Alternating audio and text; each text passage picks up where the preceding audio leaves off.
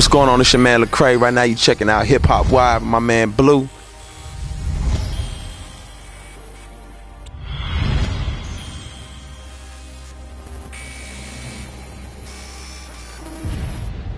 hiphopwired.com, chilling with hip hop artist Lecrae. What's happening with you, bro? What's good, man?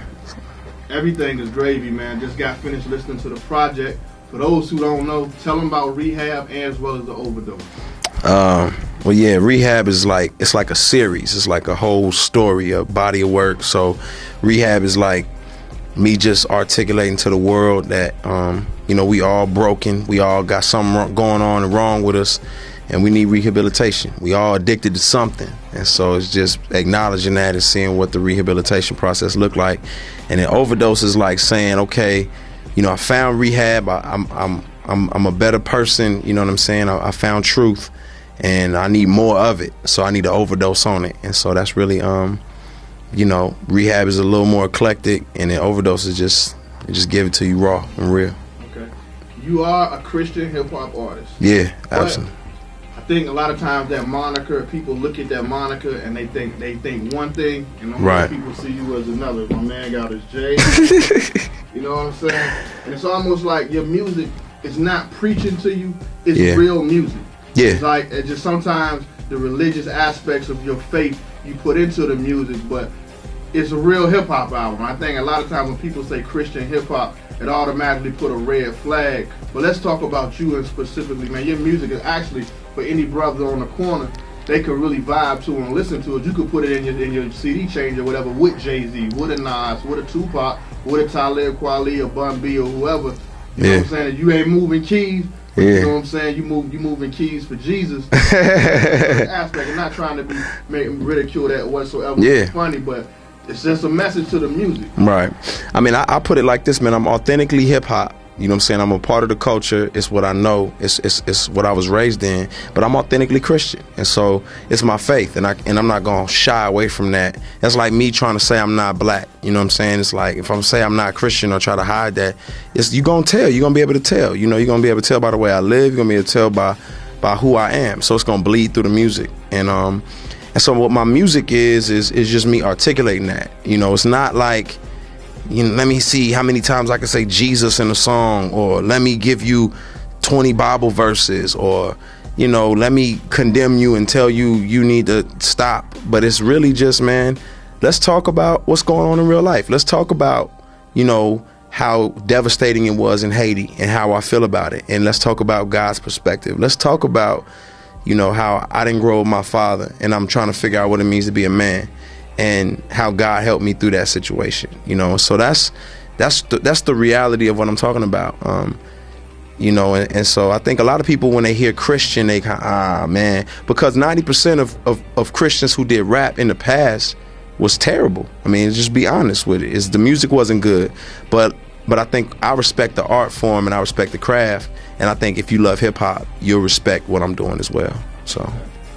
So to me, when you listen to the music, it's almost like a everybody got an angel and a devil on their shoulder. Yeah. You chose to go to angel. when I say the angel route, it's not like it's goody goody. You really walk the streets at one point in oh, your yeah. life too.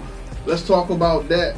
And what was it that made you make your whole change around it? This is what the aspect you were going to talk about. I mean, you know, I didn't I didn't grow up in church, so it's not like I'm like that kid that was like, oh man, I want to be a rapper, but I gotta wear my shiny shoes and stuff like. You know, it was like I didn't know. I didn't, church was a foreign concept to me. You know, I knew about it, but it was like that's what that's what grandma did. That's not what that wasn't my thing. And so, um, you know, for me, the way I grew up, I grew up idolizing my uncles who was running the streets heavy, selling drugs, gang banging, so on and so forth. So those are the dudes. Those are my role models. Those are the dudes that I wanted to be like. So that's the.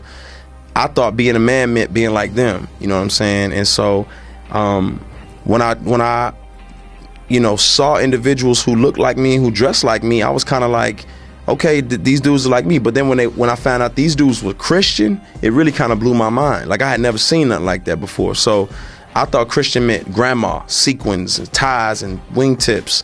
But Christian is your faith. It's the it's the way you live and see the world. And it doesn't mean you you have to stop being who you are culturally or my personality changes.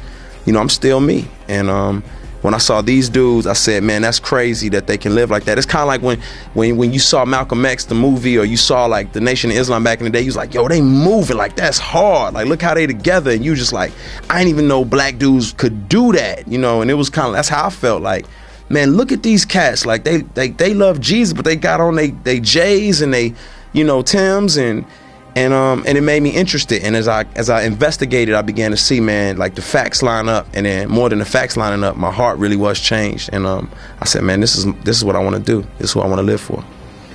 And for those who don't know some of hip-hop's most dominating lyricists have actually giving you respect and shouted you out. Yeah.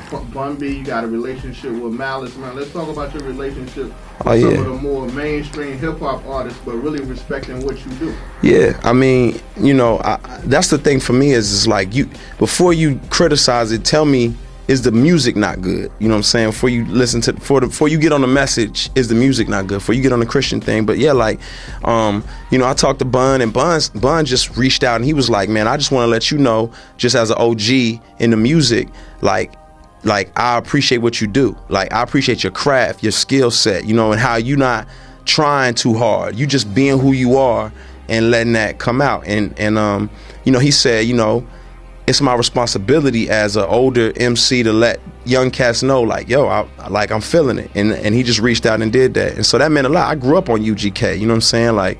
Pimp C, Bun B, you know, I grew up on that. So just to have somebody like that come and say, man, I appreciate what you do is crazy. Me and Malice, you know, we chopped it up on the phone. You know, we talk on the phone every so often. And um, you just, just, you know, even him, like, man, I appreciate who you are, what you do. You know, um, just an encouragement, man. You know what I'm saying? Um, I run into Lupe, you know, Lupe and told other cats to go grab my, my music, you know what I'm saying? Um, some cat just told me the other day he was working on Ludacris' house. Like, um, his electrician was working on his house, and he was like, I love you, Luda, but I wish you did more positive stuff.